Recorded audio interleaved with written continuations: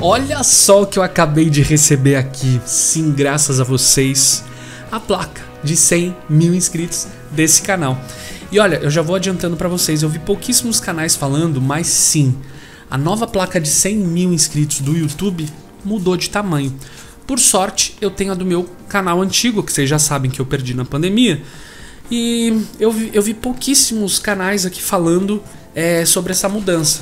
Tem, até tem alguns vídeos mas eu vou falar o porquê, o motivo durante esse vídeo. Continua igual, ó. Vem o cartãozinho inspecionado pelo Rick, aí vem essa cartinha em inglês parabenizando pela conquista de 100 mil, aí vem esse filtrozinho aqui protegendo e finalmente a placa tem mais um papel aqui de congratulations, enfim, e a placa aqui. Gente, nesse vídeo aqui eu vou trazer esse comparativo para que vocês vejam esse novo tamanho. Então eu vou até pegar a placa ali, peraí. Essa é a do meu canal antigo, né, que eu acabei perdendo, acho que muita gente já sabe. Olha o tamanho. Olha o tamanhão, né? Agora olha o tamanho da nova. Se você colocar assim, ó, é metade dela, metade do que era, ó. Ainda é menor ainda, olha aqui. Tá vendo? Essa é a antiga, que é grandona. E essa é a nova placa. Olha a diferença. Aí é até compreensível a resposta do YouTube. olha a diferença, tá cheio de risco, ó. Eu já mudei tantas vezes. Inclusive, você que está vendo esse vídeo, você deve estar tá estranhando esse novo lugar que eu tô aqui. Sim, gente, eu mudei mais uma vez, eu tô feliz que agora eu tenho um escritório realmente aqui só para mim. Deixa eu pôr lá, senão essa luz vai ficar muito forte para vocês. Bom, e aí você deve estar se perguntando, ué, mas por que que diminuiu? O próprio YouTube explicou. Gente, é muito fácil. Muitos criadores de conteúdo estão alcançando a marca de 100 mil. Então, para o YouTube criar essa placa para todo mundo que alcança 100 mil, você imagina a demanda que deve ser, que deve a plataforma ter aí todos os dias, todos os meses para construir novas placas né?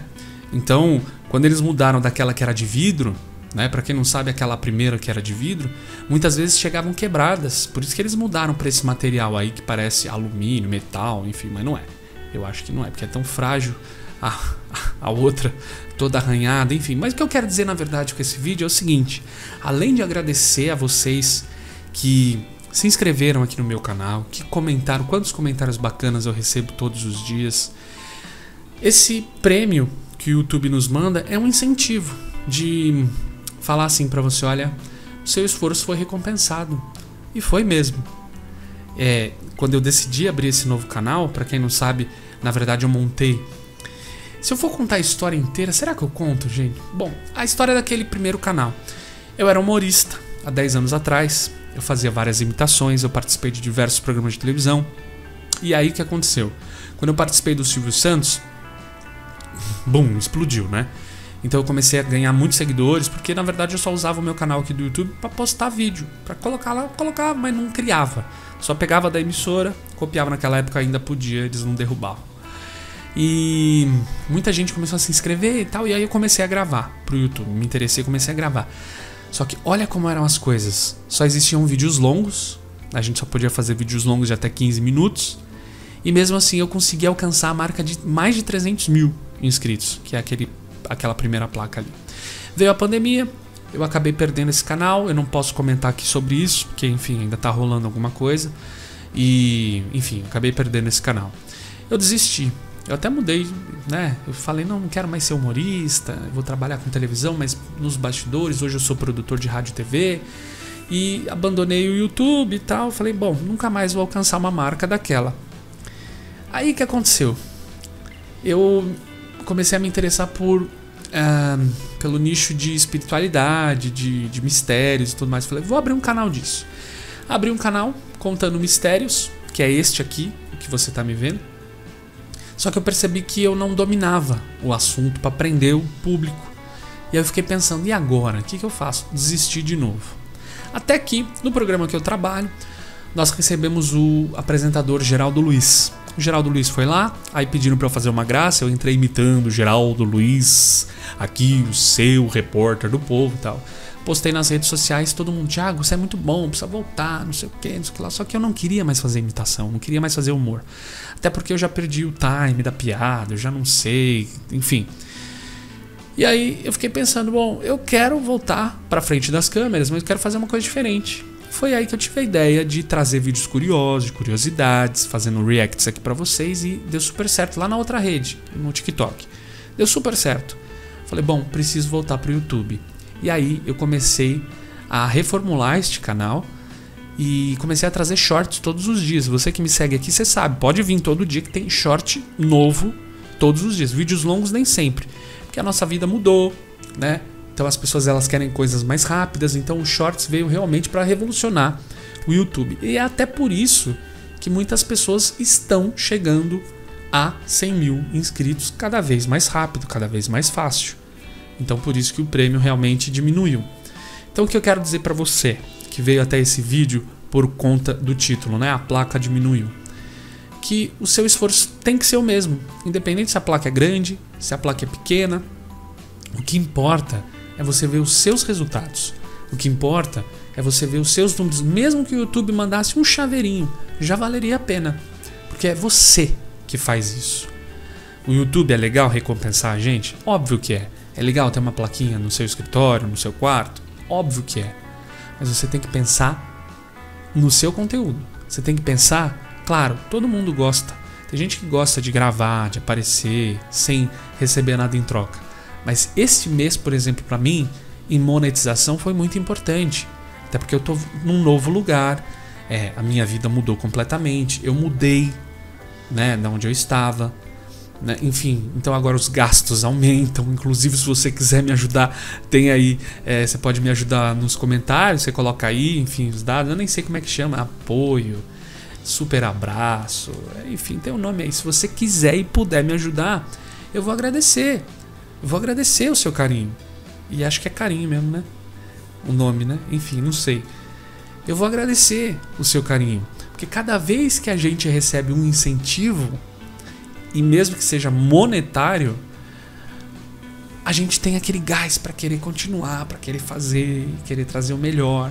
E é isso que eu quero para vocês. Então, muito obrigado você que se inscreveu aqui no meu canal. Se você ainda não é inscrito, eu peço que você se inscreva. Gente, não custa nada você apertar o botãozinho inscreva-se. É, e vou até contar um segredo aqui para vocês, uma coisa que é, sempre me passou na cabeça. Toda vez que eu, vi, eu ia procurar um vídeo no YouTube, vamos supor, é, como trocar um chuveiro. Eu ia lá, assistir o vídeo, eu não curtia. Hoje, a minha mentalidade mudou. Eu fico pensando, coitado desse rapaz, né? Colocou a câmera para gravar, editou, fez uma thumb legal. Eu vim ver o vídeo, precisei dele. O que, que custa eu curtir? Hoje em dia, eu juro, sempre eu faço isso. Quando eu vou atrás de alguma coisa, se a pessoa me ajudou, se foi uma professora, se foi uma aula, se foi um tutorial, eu curto. A gente precisa perder essa coisa de, ah, eu não vou curtir, não. É, eu só quero curtidas, eu não vou curtir. Tem gente que pensa assim. Eu pensava antigamente, há muito tempo atrás. Mas hoje não. Hoje a nossa mentalidade mudou. E eu espero que mude a sua também. E é isso. Se você é criador de conteúdo, não se deixe levar porque o tamanho da placa diminuiu. E sim, deixe-se levar pela sua criatividade, pelo seu conteúdo. Se você tem um nicho que você domina, que você acha importante levar, leve. Eu vejo muita gente falando assim: ah, eu tenho tanta vontade de abrir um canal no YouTube, mas eu não tenho, sabe? Tem. É só você ter um celular, o áudio, o próprio celular capita. Com o tempo você vai modernizando, com o tempo você vai comprando um microfone, com o tempo você vai comprando uma iluminação, com o tempo você vai montando um cenarinho legal. Mas não desiste. Você tem que postar, você tem que estar tá aqui, você tem que não ter medo, não ter vergonha de falar de aparecer. E cada vez mais, mais canais, cada vez mais, mais placas, independente do tamanho. Entenderam? Eu espero que você tenha entendido. E se você veio só para saber o tamanho da placa, ou se você acabou ouvindo a minha história aqui, eu agradeço você também. Gente, não se esqueça que todos os dias tem vídeo novo nos shorts e a cada semana um vídeo novo longo também, seja com imitação, com humor, enfim, eu reagindo a alguma coisa, eu sempre tô aqui com vocês, tá bom? Conto sempre com a sua presença aqui, conto com a sua inscrição, a sua curtida e principalmente o seu comentário e o seu carinho. E é isso.